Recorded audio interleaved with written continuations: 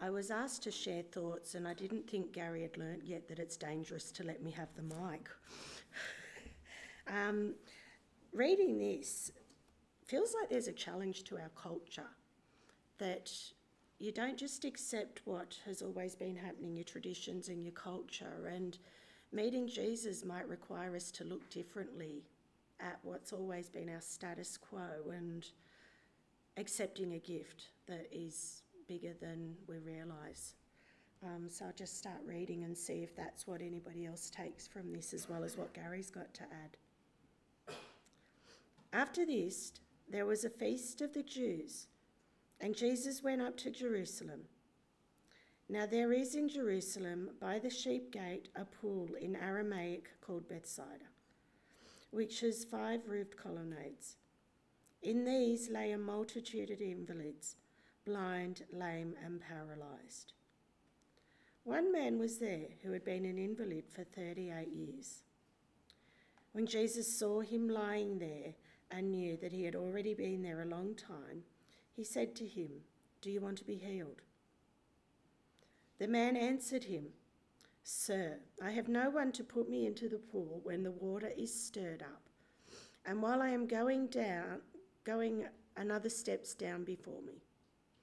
Jesus said to him, Get up, take up your bed, and walk. And at once the man was healed, and he took up his bed and walked. Now that day was the Sabbath.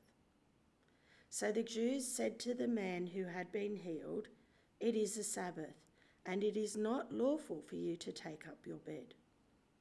But he answered them, The man who healed me, that man said to me, Take up your bed and walk.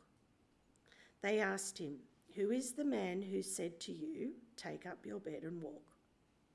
Now the man who had been healed did not know who it was, for Jesus had withdrawn as there was a crowd in the place. Afterwards, Jesus found him in the temple and said to him, See, you are well. Sin no more, that nothing worse may happen to you. The man went away and told the Jews that it was Jesus who had healed him.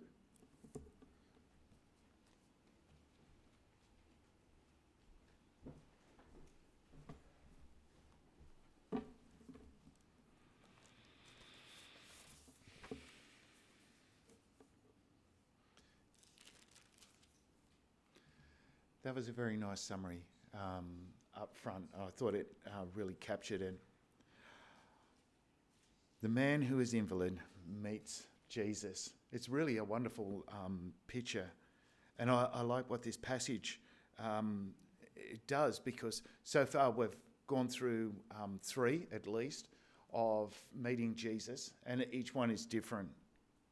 But this time, it, it starts by coming out wide and uh, just like um, the song that we had uh, previously, Come to the Altar. And, and it's as though uh, this, is, this is the focal point. This is the place where I want you to beam your attention, this, this altar, as Steve has been saying about, you know, coming and leaving stuff at the foot of the cross.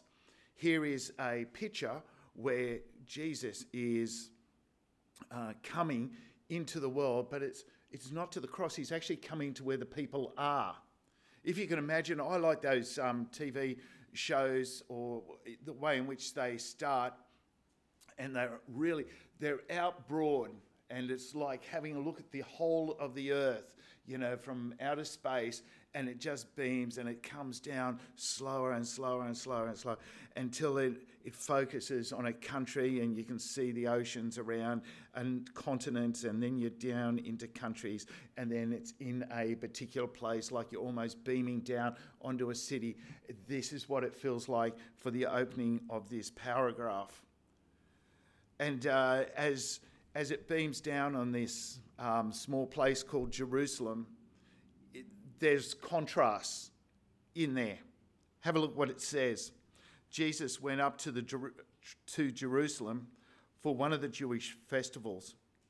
Now there is in Jerusalem, near the sheep gate, a pool, which in Aramaic is called Bethesda, and is surrounded by five covered colonnades. there's a contrast because Jesus is come into Jerusalem for a festival. And festivals, Jewish ones, are to mark out times when things have been special uh, for Jewish, where Jewish people have recognized that God has actually acted. And it could be uh, one that's based around um, Esther and the saving of the Jews while they were in um, captivity. It could be coming out of Egypt. It doesn't specify, but they're usually feasts about some time that God has acted in a special way that has transported um, people into a new position. And but it says that he's come for a festival and he's in there and there's this place called the sheep gate and there's a pool next to it and the sheep gate's on the northern side, and uh, there is a pool. They've unearthed it, they've found it, and it's about 100 feet long, uh, divided into two. And it, like it says, sheep would come in through this gate and they would wash the sheep in one section of the pool. And so it focuses now not just on the festival, but a contrast because the place or the pool is called Bethesda, which basically means the place of mercy, a house of mercy. And yet the description is like this here, a great number of disabled people used to lie the blind, the lame, the paralysed. Can you see the contrast that he's giving us? that all of a sudden he, Jesus comes to, for a festival, but he goes out of his way to find this section in the city where it's called the house of mercy, and it actually looks like a house of misery.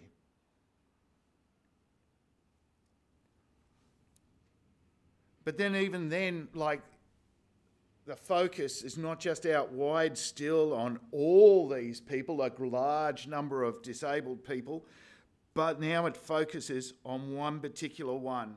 Verse 5 one who had been there, invalid, for 38 years. When Jesus saw him lying there and learnt that he'd been in this condition for a long time, so he's found him, he's focused on him. He almost is the epitome of those people who are there. I'm stuck here. I've been here for a long time.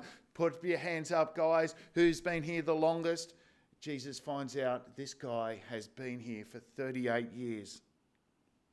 And as he is, it almost uh, epitomizes the whole idea of in hope, I am here in hope that one day life will change for me. Isn't that where we sometimes end up?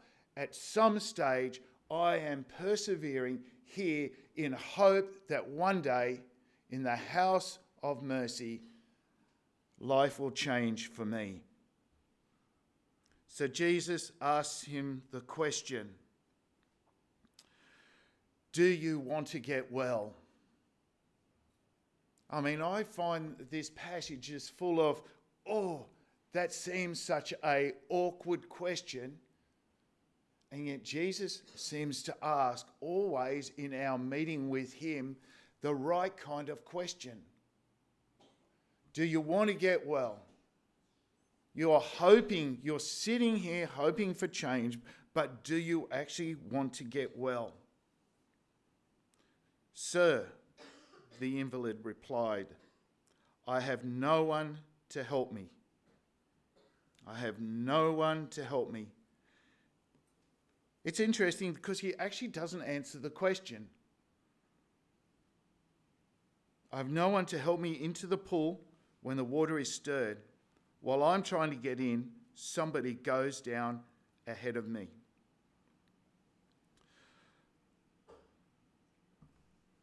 I am not well because I have a reason. And sometimes when you do speak to people and they tell you their condition, but they never actually tell you that they actually want to get well. Sam was mentioning uh, about some people in Lifeline, and, and certainly uh, sometimes at school when you're talking to uh, students, there are some, I would like to rehearse my story for you. I have comfort in my story, my sad story.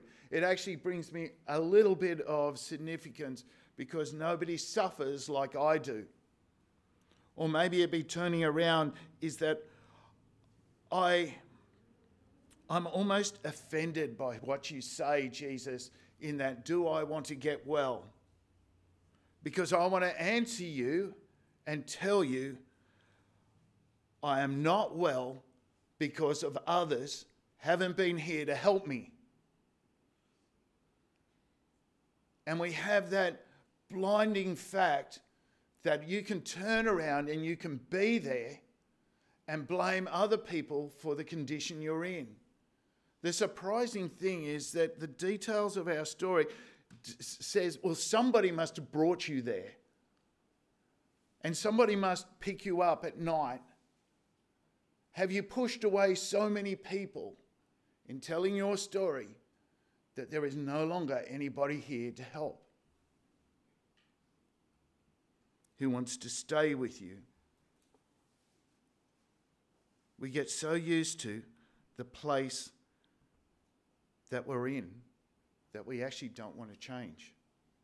I certainly was like that um, for many years, where I didn't even believe that I could actually have a different condition, like for my skin disease.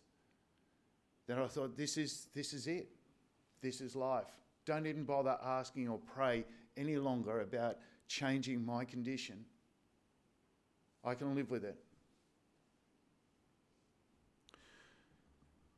What surprises me is that at that point where this guy answers, There is no one here to help me, that Jesus doesn't turn around and lecture him about having gratefulness in his life. Or somebody came and dropped you here off, mate.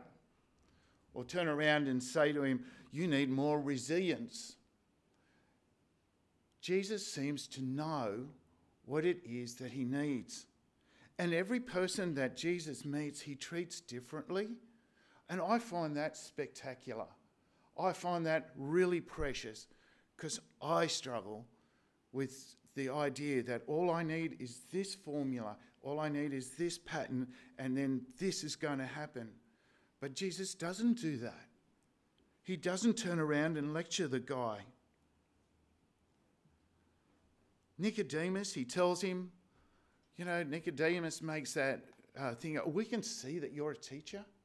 We can see that. Nicodemus, you need to be born again. If you want to see, you need to be born again. Um, woman beside the well, you've come here to draw water. There's better water. And he leads her through a totally different conversation than Nicodemus. And now he comes to this guy and he's doing something totally different. There's a beautiful passage in Ephesians 1 8 to 9, and it says, with all wisdom and understanding, he makes known to us the gospel. He like he knows and understands where every single one of you are, and I know what it is that you need. I don't make random sort of guesses as to your problem. You have um, specialists, psychologists, and stuff, and um, and they were always writing up papers and coming up with new acronyms for different kinds of conditions that we have. We are complex but messy. That's what it means. And so no one thing fits. And so Jesus meets this guy and he comes away with, I know what it is that you need one of the wonderful things um, that he does is he says, I know that you're messy, and I know that we all have sin. We are complex to one another, but not complex towards Jesus. Jesus doesn't see us as being complex. We struggle with one another. and work out that I don't understand why this is working that way. And it's beautiful. So Jesus, this time, simply says, Get up, pick up your mat, and walk. In response to his answer, there is somebody here to help you. Get up, pick up your mat, and walk. And he does. The guy stands up and then he goes.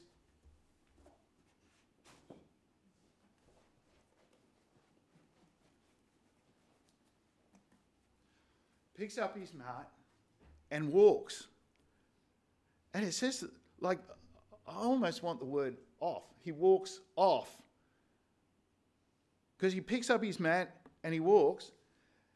And then there, there's another little twist in the story. There's another little complication. The day on which it took place is a Sabbath.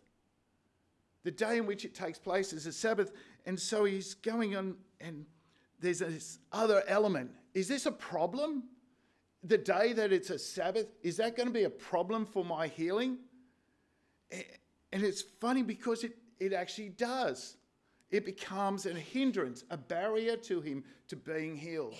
It's almost as though we've lost the significance of coming into the rest of Jesus. A regulation that is for our benefit now becomes a hindrance to our healing. And it's coming through the Jewish leaders.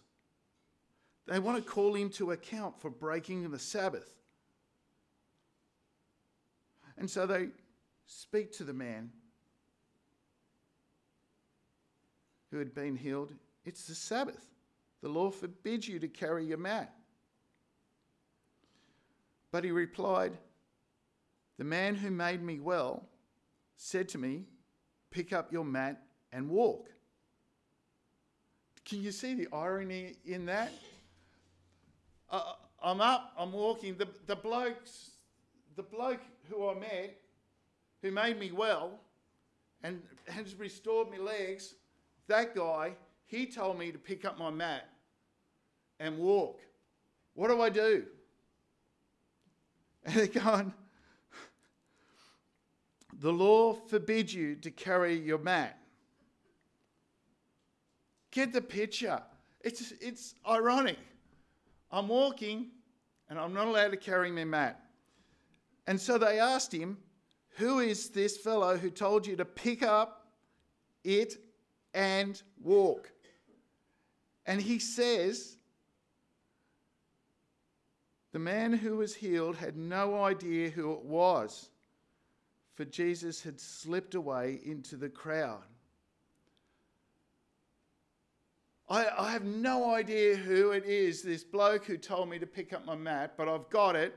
He's made me well, and I have no idea. This is my little disclaimer. I think I'm allowed to carry my mat because he said so, but uh, in case that gets me into trouble, you should really be speaking to him and not to me. It, it's almost like um, I'll own the healing, but I've got a little white flag here. I surrender. I really don't know who I stand for. I've got a choice here. Grace that's been given to him, healing that's been given to him, has now transformed his situation, and he has to make a choice. What choice am I going to make?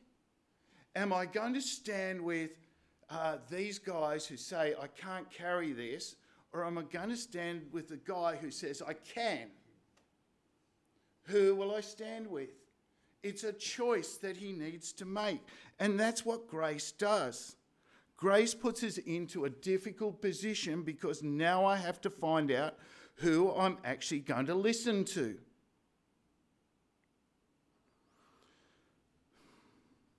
I suppose in one way I need to answer the question as to whether or not is Sabbath day rulings something I need to follow? Is that something that I need to address? Because somebody will oppose you when Jesus says, I'm allowed to carry my mat, because I'm a well now.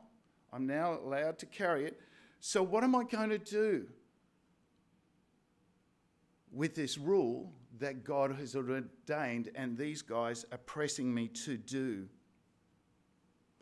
Paul, in his letters in Corinthians, says one person considers one day special, another person con- considers it every day alike. Each does so to the Lord. In Acts 15, when they uh, come in together, and the Jewish um, people who had become Christians said, We need to make everybody follow the law. We need to do that. Okay, yes, believe in Jesus, but they'll need to follow the law. And so they sit down in Acts 15 and it was recorded what should they do with it? And so they write a letter and um, they said, Peter says, I, I don't, uh, our ancestors weren't able to keep the law. So, how can we make them try and keep the law that we couldn't keep? And that Jesus died for. So let's write a letter. It's not a command, it's a courtesy. It's a courtesy. We will be courteous. We will understand that these things really, some things offend them, and they gave four things for them to do. But rest is found in the work of Jesus. And he needs this guy has a choice as to whether or not he will stand on Jesus and do what he has told him to do. There's a tension, though, for the guy, a huge tension. One of the things I still, I'm kind of picturing he's still got his mat. The man, who is this man who told you to pick it up? The man says, I don't know. Jesus had slipped away into the crowd. He gets away, you know, like, I mean, how does somebody do that? I mean, you, are thankful to the doctor who, who might give you some tablets and you go away and you come back and you say, gee, that was good, thank you. Um, but here is a, here's a guy who lets Jesus get away on him and he doesn't track him down and doesn't even find out his name. And then in this passage, there is no praising of God for the miracle that's right in front of him. It's like everything just continues on, it's just totally transferred to another place. And so it says, later, Jesus found him in the temple. The tension is who do I follow? Or will I stay with those who question me? I got a choice of staying with somebody who heals me or somebody who's going to question me. Why would they then have such trouble with Jesus? Why is it so hard for him to choose Jesus and to follow Jesus? One of the things that said in the beginning of John's gospel, they were not going to recognize Jesus as an plausible authority these guys will always oppose you. There is not a plausible authority that Jesus has. So he's faced with these men who are teachers of the law. They're visible, they're audible, and they're confrontational. However, Jesus, he seems small and invisible and quiet, yet he makes me walk. That is the kind of choice that you have in following Jesus. Because the voices around you who say you cannot carry your mat for whatever reason, or you can't do this in school, or you can't do that, etc., is going, are going to be people who are visible in your face. They're going to be audible and they're going to be confrontational. And, and the, the thing I know that has always frightened me uh, challenged me, whether it's been in scripture class or uh, in the shop, is that I face these people who are ordinary people who are those three things. And yet I look at my God and my Jesus that I want to follow, and He is small. And I can't see Him. And He's quiet. And yet, He has helped me to talk. Jesus meets the man in the temple. Before, like, he meets the man in the house of mercy, now he meets him in a house of worship. The contrast is there for a reason. And it's funny that the man is now been in the house of mercy and now he's in a house where there's worship and prayer going on. And guess what? He heart, his heart hasn't changed. He's no different. Whether he's looking for mercy or whether he's looking in worship, he can sing the songs that they sing at the temple. They can be there down praying on their knees and giving sacrifice, but it doesn't change his heart. Look what happens. Jesus says to him while he's in the temple, See, you are well again.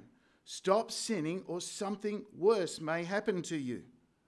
There is something that the temple is not going to change your heart.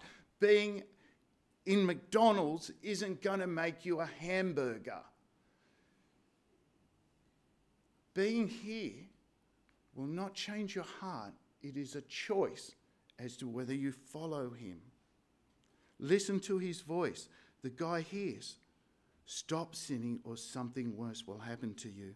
What does he do? Well, for starters, I find it interesting that when he says it, it's a personal word to him. Jesus will give you a personal word. I always find it interesting that in a, in a message, there is time when uh, somebody will pick a phrase out of what has been said or what's been sung or a testimony that's given, and, and for another person, it's missed. Jesus will have a personal word to you.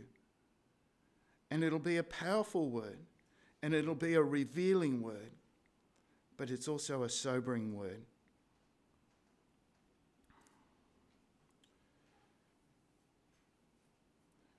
It seems that he doesn't like being rebuked. He doesn't like being questioned. It's like as soon as the teachers of the law question him, I'm out of here. I'll, I'll surrender. Yeah. And then when it turns around to him being in the temple and Jesus having a quiet word to him, he's doing the opposite.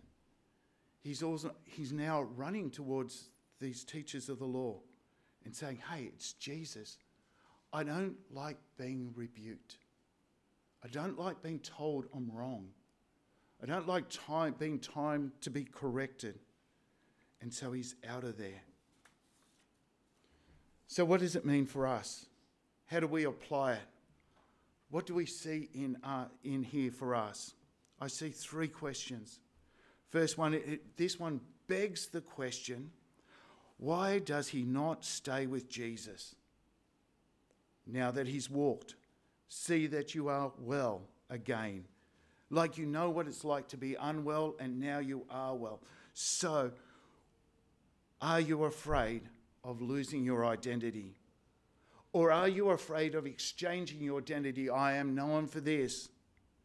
Or is it that you're afraid of standing accountable for what's happened? I don't want to pipe up. That's difficult for me. Are you afraid of being uncomfortable of the unknown? The questions that are coming. I don't think I've got the courage to do it. I'm not sure what Jesus will do with me. I know that I went through all of those questions. It also begs another question why did you do it, Jesus? Don't you think it was a bit of a waste, seeing that his heart isn't changed?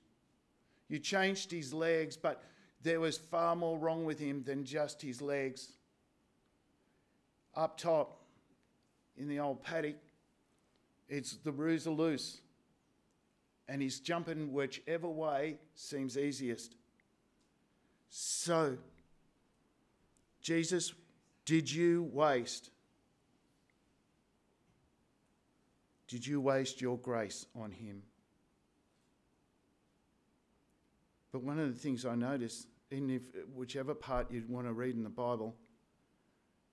You see, God, in his very nature, loves to create. He saw the earth and it was void and dark and chaos was over it, and he turns it into something that he says, This is beautiful. It is the very nature of God. And I put it to you, it's the nature of you as well. Inside of you, you have that same likeness of God. For some of you, turn around and go ahead and study things I would never study, and you are passionate about it.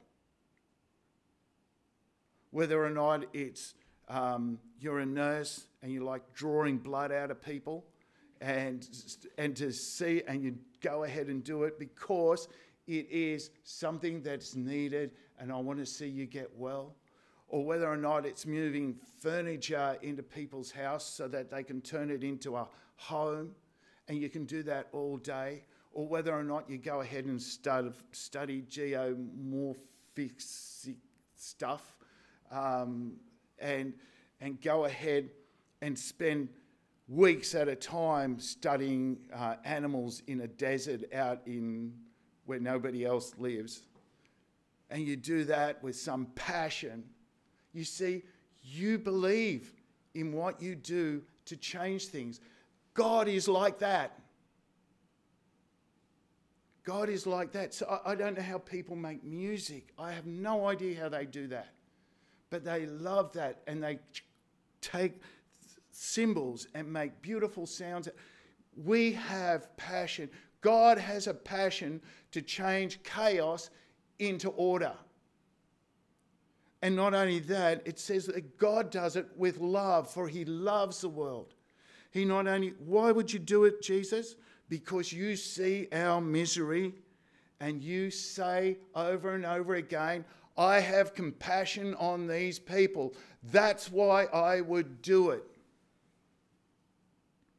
Is grace wasted? No, because straight after this, it opens up a door for Jesus to speak about his mission. It also reveals his character because what he starts healing, he brings healing to completion. He wants to bring us to perfection.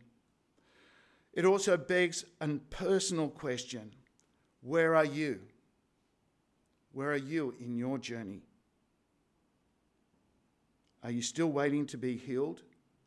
Are you still stating where you are at? Have you dealt with Jesus? Have you made a claim to stand with Jesus? And do you struggle to trust Him to carry it on to completion?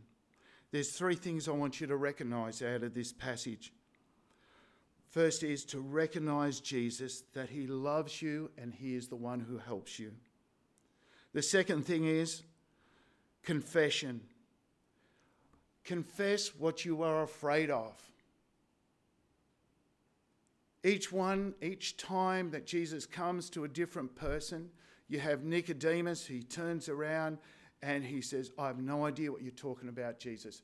You're Israel's teacher and you have no idea. How do you call yourself a teacher? It's like, oh, that hurt. Or the woman at the well, Go and get your husband. I have no husband. Yeah, because you had half a dozen. And there's probably a busload parked down the road. There is.